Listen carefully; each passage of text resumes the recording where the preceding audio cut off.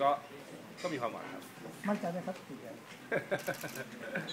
มั่นใจก็คงหลากหลายนะครับ มันมีมันมีประเด็นหลากหลากหลาย ในการจับสายก็ดีนะครับ ในการระหว่างนี้ถึงระหว่างนั้นเอ่อนักกีฬาเราความสุขภาพร่างกาย เพราะอย่าลืมว่าคาราเต้เนี่ยโอกาสที่มันเจ็บ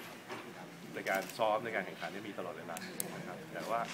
ก็ก็ตั้งเป้าไว้นะครับว่าหนึ่งหนึ่งเหรียญทองนะครับคือถ้าเกิดได้ในระดับเอเชียนเกมนี่ก็เรียกว่า ค่อนข้างจะสุดยอดแล้วนะครับ เพราะว่า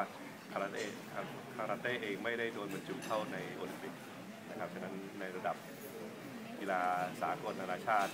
เอเชียนเกมก็คงจะเป็นอันที่ใหญ่